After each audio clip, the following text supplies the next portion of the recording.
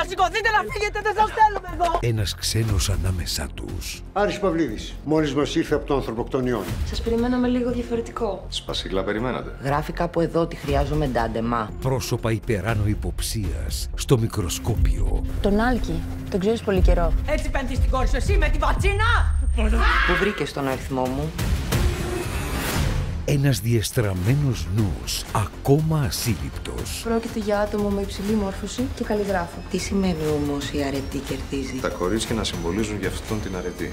Μαύροι πίνακες. Την άλλη Παρασκευή στις 10.30 το βράδυ.